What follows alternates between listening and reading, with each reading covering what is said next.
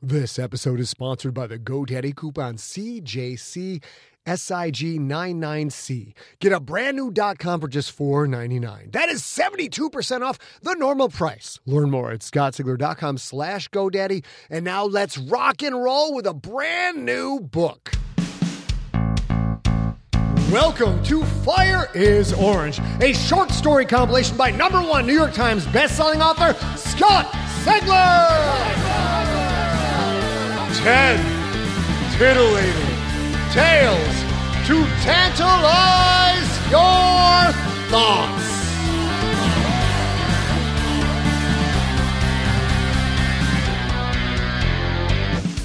Hello, junkies!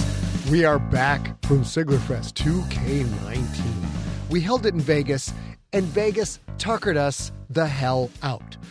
But since we've been back, we've gotten a couple of solid naps in, and we're ready to get at it again.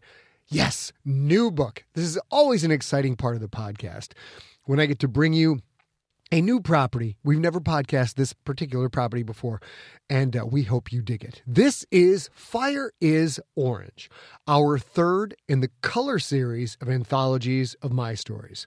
The first anthology was Blood is Red, the second one, Bones Are White. Now, Fire is Orange. Somewhere in the far future, we will do Death is Black and finish up the color series with Rot is Green.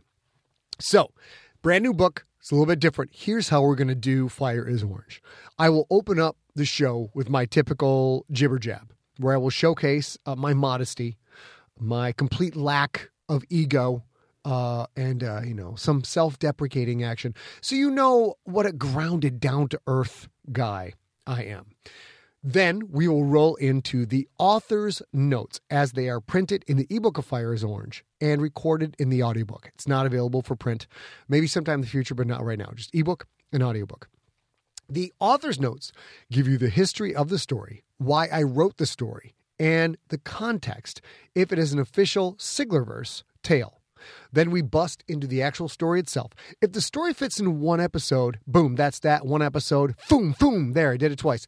If it's a long, oh yeah, then we break it up into multiple episodes. If it's really, really short, oh no, then we package it up with another short story and put them both into one episode. There's quite a bit of variety in this anthology. There are some serious stories about love. The older I get, the more I tend to write about love and how awesome and terrifying and terrible and great it can be. There are also some humor stories. Uh, don't be thinking there's going to be any highbrow NPR shit. All right. I still laugh at farts. I still laugh at burps to give you an idea of how mature I am in my sense of humor. So these funny stories are, frankly, they're things that make me laugh. And if you are also immature, if you've never really matured past the eighth grade, you're going to find my humor absolutely hysterical. And then also in this collection are some really, really dark stories, disturbing stuff dredged up from my personal nightmares and a couple from today's headlines. Which means that fire is orange. You never know what you're going to get. It's like a box of chocolates of fiction. Our first story in this anthology is Siglerverse official. It is a little slice of pandemic. Hell, Pandemic's one of my novels. So here we go with the author's notes for Dale and Mabel, then the story itself. And I hope you dig it. Author's notes for Dale and Mabel. This story was originally intended for the Apocalypse Triptych, edited by John Joseph Adams and Hugh Howey. After a few rounds of edits, they decided the story didn't quite fit with the tone of the anthology. Luckily, they asked me to do something else, which led me to The Fifth Day of Deer Camp and the two sequels, The Sixth Day of Deer Camp and The Seventh Day of Deer Camp. Those stories made it into the triptych, while Dale and Mabel did not. However, I couldn't walk away from the tale of these two lovebirds. There is something magical in stories about those who get the fairy tale early love, then a lifetime together, doing the best they can to make each other happy. But as the pastor at my grandmother's funeral once said, all true love stories end in tragedy. When it comes to apocalyptic fiction, we're used to seeing the 20 or 30 something protagonists sprinting, yelling, lifting heavy things, fighting for their lives against impossible odds, etc. Know what we don't see that often? Elderly people trapped in their homes because they simply can't go anywhere else. When it comes to the end of days scenarios, those poor souls have little choice but to ride out whatever storm is brewing and hope for the best. Dale and Mabel are caught up in the horror that is Chicago during my novel, Pandemic, Book 3 of the Infected Trilogy. In case you haven't read that series, I won't spoil it, but the Windy City is the last place you would want to be. If you've read Pandemic, I hope you dig this little vignette of two normal people experiencing the early hours of that tale. If you haven't read that novel, I now publicly shame you and suggest you cleanse your sins by buying Book One, Infected, right this very moment. I do this because I'm here to help you. You're welcome.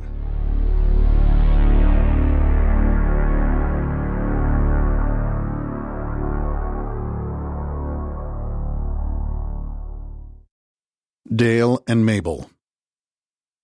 Dale pounded his fist against the lazy boy's armrest. Skip Bayless, you didn't play a goddamn down of football. What the hell do you know?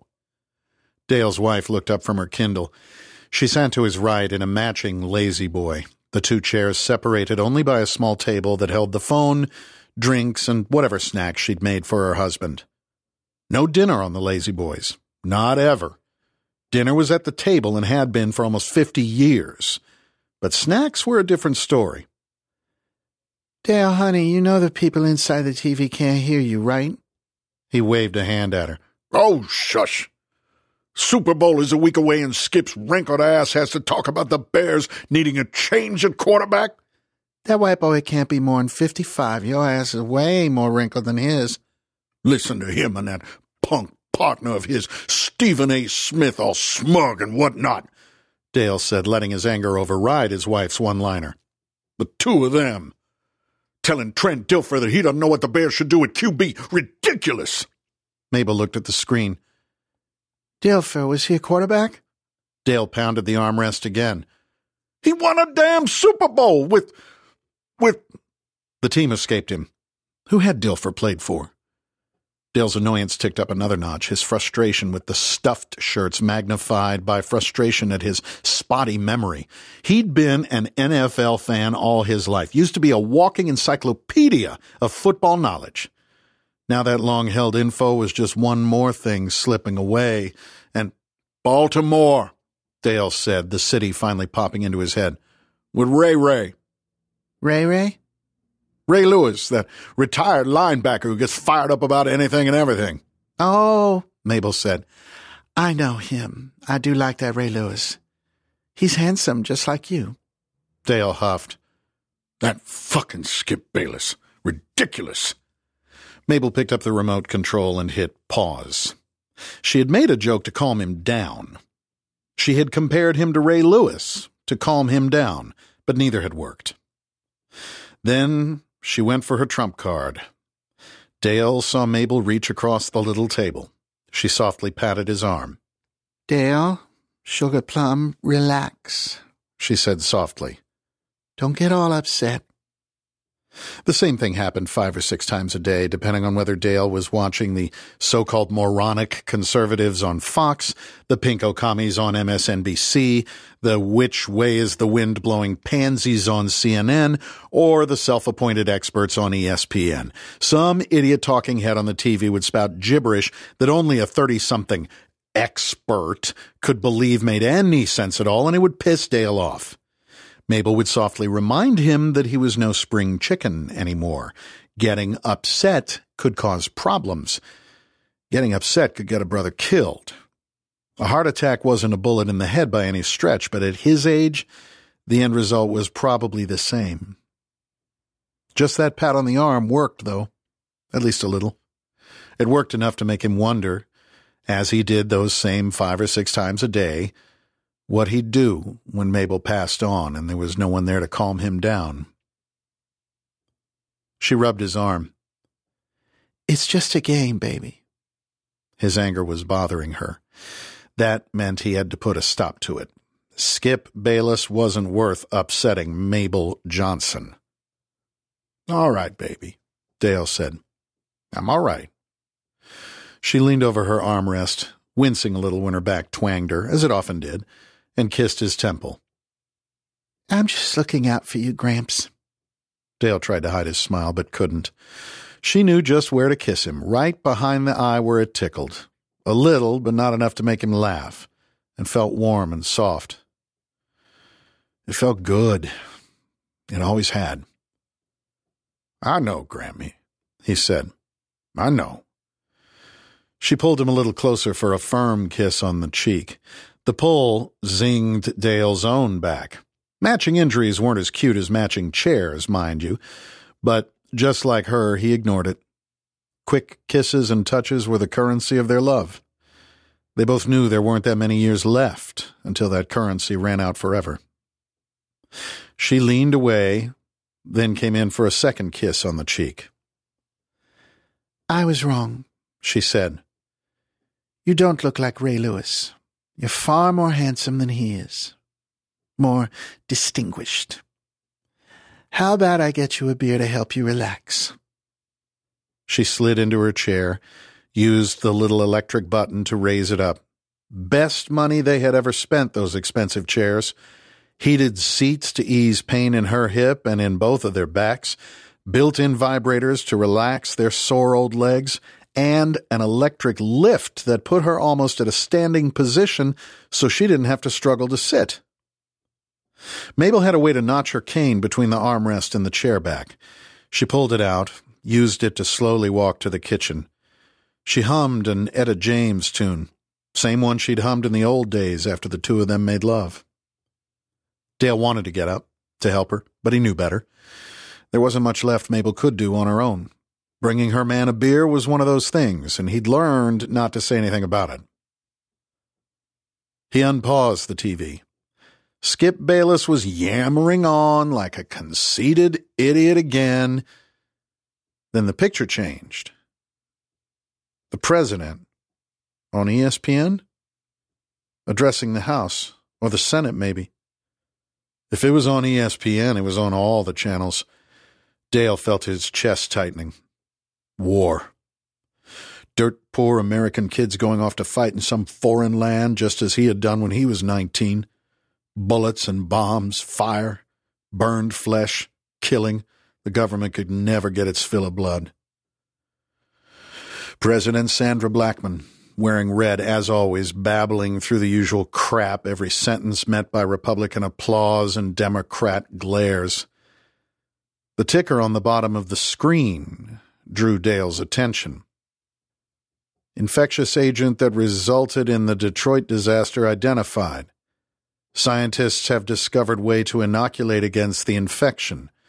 President Blackman claims disease will be wiped from the face of the earth. What the hell? This ain't war. He tried to simultaneously read the ticker and listen, and also read the sidebar that flashed up all kinds of information. Goddamn news channels couldn't just give you one message at a time anymore, always beating you in the head with more than a body could manage at one time. This was about some kind of infection. An infection that could turn people into killers? What the hell was that about? Something familiar, something Dale couldn't quite place. He'd forgotten that Mabel had paused the TV. Dale forwarded until the picture was caught up in real time. Can't stress this enough, Blackman said. The Surgeon General and the Centers for Disease Control urge you to cooperate with local distribution centers to get the treatment. The emergency broadcast system will be transmitting delivery days and locations. There will be enough for everyone. Until you receive your medication, limit contact with others and stay indoors as much as possible. Mabel came into the living room carrying a beer in each hand. She set them down on the table that separated their chairs. As Blackman droned on, Dale took his beer, drank half of it in one pull. Mabel slowly, cautiously eased into her chair. The chair's electric motor hummed as she lowered it to the seated position. The president? Why'd you turn the channel? I didn't, Dale said. She's on the ESPN. The camera zoomed in on Blackman's face. She had her serious look down, cold. The woman knew how to work a crowd, that was for sure. Let me say I do not fault my predecessor or his party for allowing things to come to this point. These are exceptional times, not only in the history of our nation, but also of the world. Together we will forever end the greatest threat the planet Earth has ever faced. Mabel picked up the remote and again froze the picture. Dale, honey, what's going on? He took another pull before answering. Beer. One of life's glories, just as cold and nice to an old man as it was to a young one. And a beer brought by your wife? Things like that made life worth living. Some bullshit about microbes or whatnot making people killers, he said. And the government is passing out some kind of inoculant that's supposed to protect us? Inoculant, please. Like I'm supposed to believe this bullshit that little microbes or whatever are going to infect us and make us crazy? Mabel turned in her chair, a move that made her wince. Dale, honey, I know sometimes you don't remember all that well. You don't remember Detroit? He stared at her, then turned back to the TV. Detroit. Detroit. There was something about that, something big, but his disloyal brain wouldn't give it up. Course I do, he lied. Her hand again reached across the small table, but this time her fingers took his, squeezed them. He loved her with all his being, but knew her gesture meant he'd forgotten something important again. She was about to tell him what that something was, and that made him hate her. Cody Murphy, she said softly. You remember Cody? What kind of condescending question was that?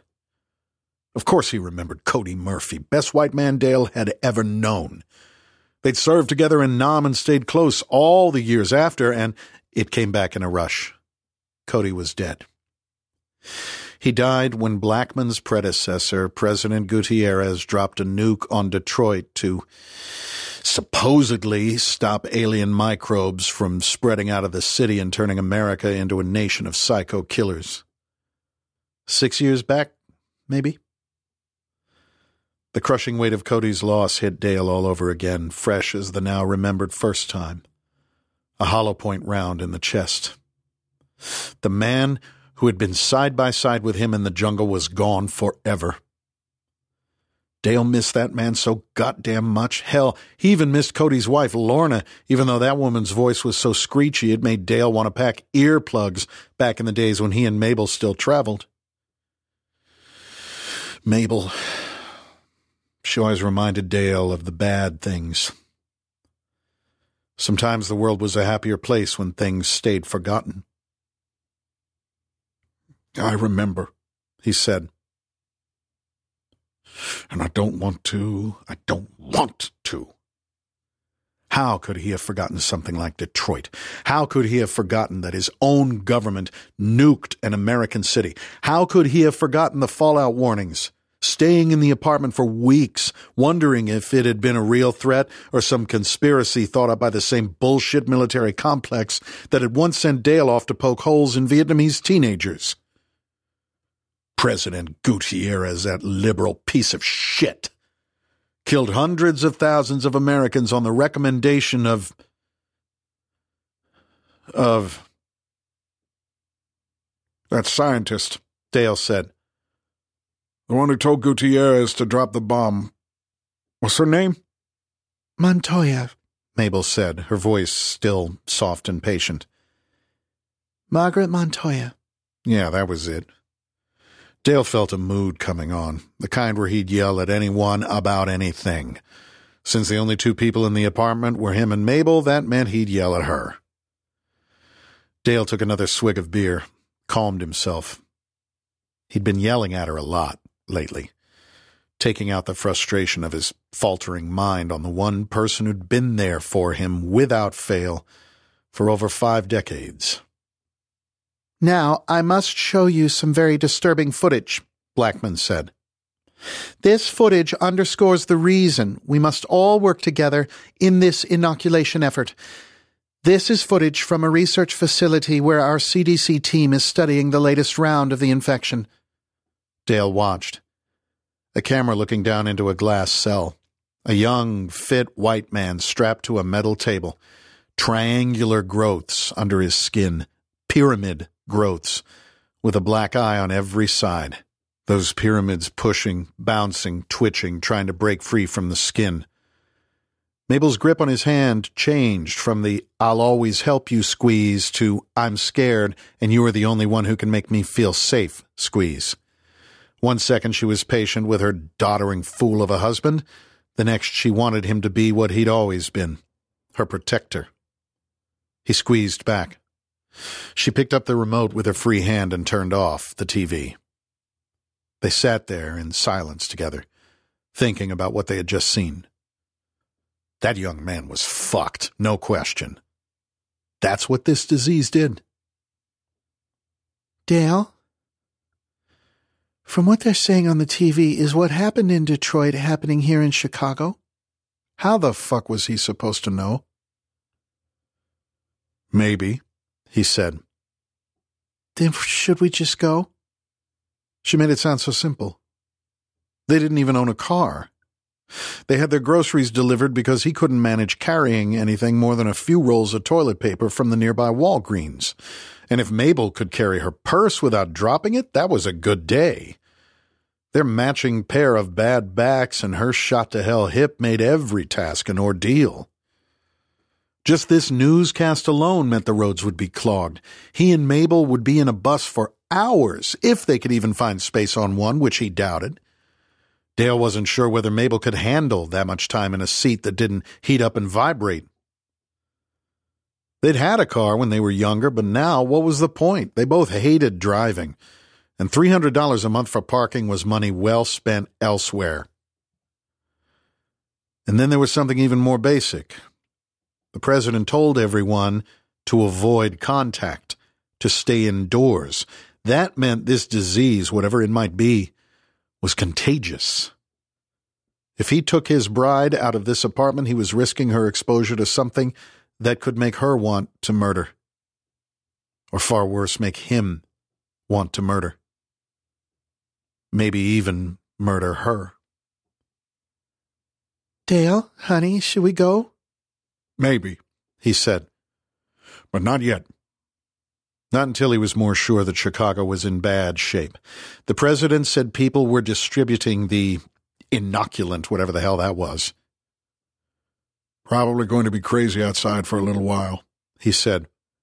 Best to stay here, stay safe. Which meant stay close to my guns. Some of his guns were legal, some weren't.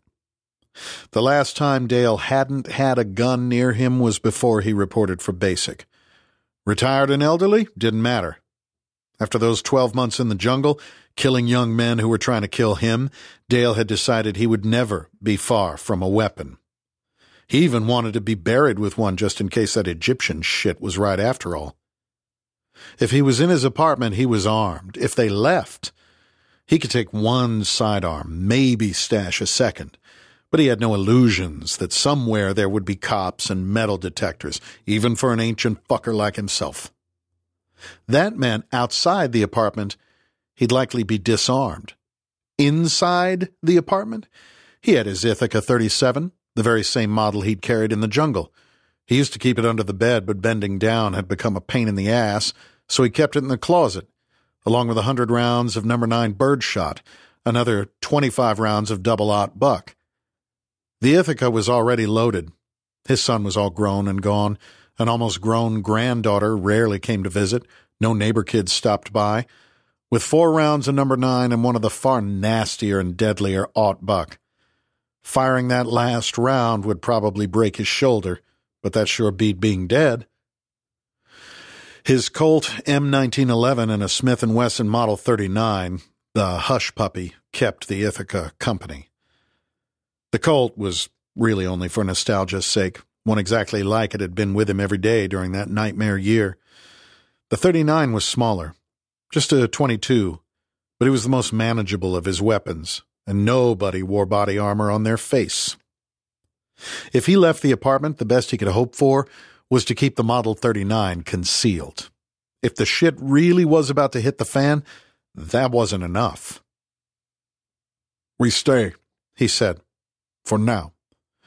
Stay and hope that things don't get bad. Mabel nodded slowly. She knew the score just like he did. The phone rang. Caller ID on the TV said Marcus Johnson. Mabel reached for the phone, but Dale held out a hand to stop her. Let me, he said. Her hand hovered in midair, trembling slightly, but she nodded, lowered it. She knew what he was going to say. Dale answered. Hey there, sonny boy. How's the weather in California? Dad, you watching the news? The voice, thick with concern and also with a little bit of aggression. At 44, Marcus naturally considered himself the man of the family. Dale had felt the same in his 30s and 40s, felt that his own father in the latter phase of his life might not be capable of making the right decision. Funny how what goes around comes around. And Dale now knew that his attitude then had silently pissed his father off to no end, because that's what Marcus's attitude did to Dale. Yes, we saw it. Are you getting out of the city? How's mom? That tone, impatient, demanding. So much like Dale's own. Your mother is fine. Everything is okay, son. Just relax. Like hell, I'll relax, Dad. The internet is saying Chicago is going crazy buying cold meds and painkillers, stuff to fight the symptoms of this thing. That means thousands of people are already infected. It's the same thing that happened to Detroit. It's not the same, Dale said. The government is going to distribute that inoculant here. That medicine is a bunch of bullshit. Another thing that was surreal about watching your little boy become a grown man, Marcus even swore, just like Dale did. The boy had inherited Dale's voice, his cursing style, and obviously his distrust for the good word of politicians. Dad, I'll be on the next plane out. And leave your wife and my granddaughter alone. That made Marcus pause. Dale felt bad for his son. He really did, because the kid was in a tough place come to Chicago to try and make his parents listen to reason or stay close to his wife and child in what might very well become a national time of crisis. Mabel sat still, hands in her lap.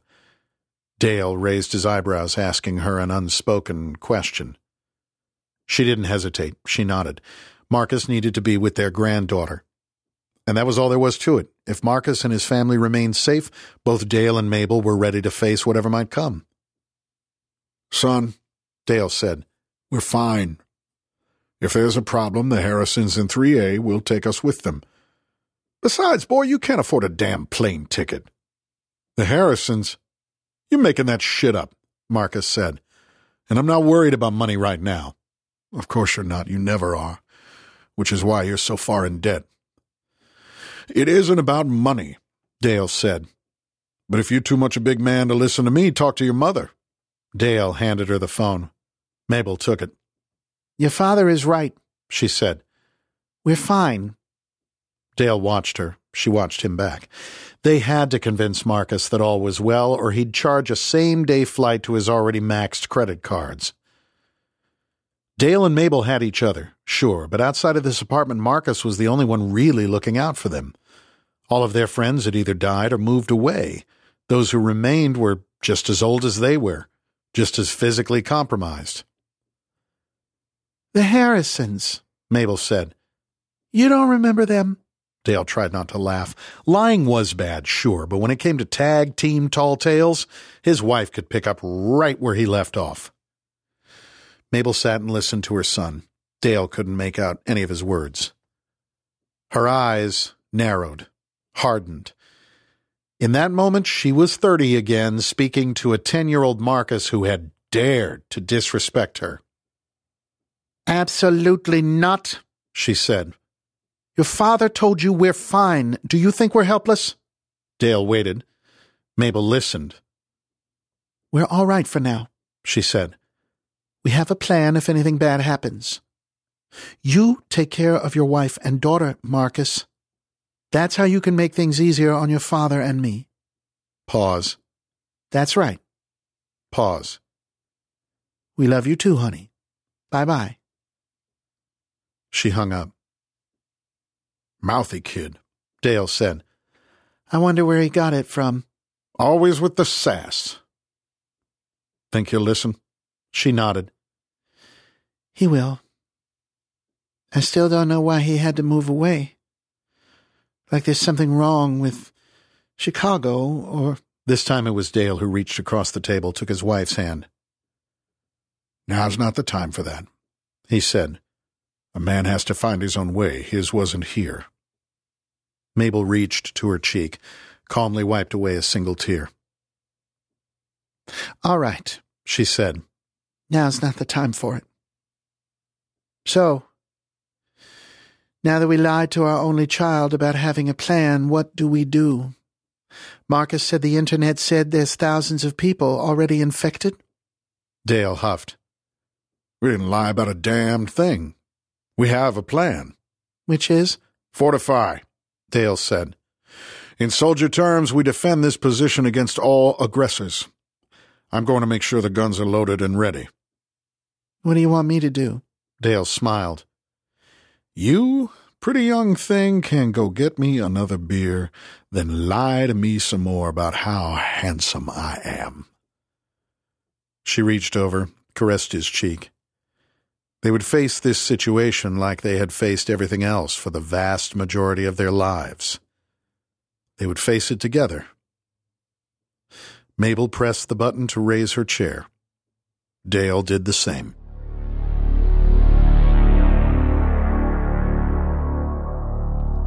That was Dale and Mabel. If you read Pandemic, you know what happened to Chicago. If you didn't read it, I can assure you that Chicago was not a fun place to be. If you are so new to me that you haven't read the Infected trilogy, I highly advise you get on that. It's three books Infected, Contagious, and Pandemic. Infected was the first book I had out from Crown. That was the uh, the initial my my big publisher debut, hardcover debut.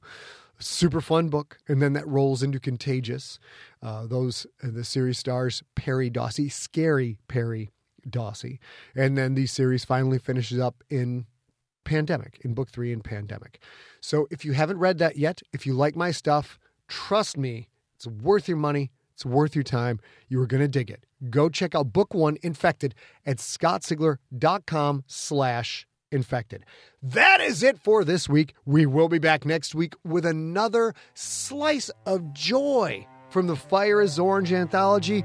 And until then, I will talk to you all real soon. You have been listening to Fire is Orange, a short story compilation by number one New York Times bestselling novelist Scott Sigler. Narrated by Scott Sigler, Ray Porter, and A. Kovacs. Produced by A. Kovacs. Engineered by Steve Riekeberg. Copyright 2019, Empty Set Entertainment. All rights reserved. For more information about the author, visit scottsigler.com. Theme music by the band Amps and Volts.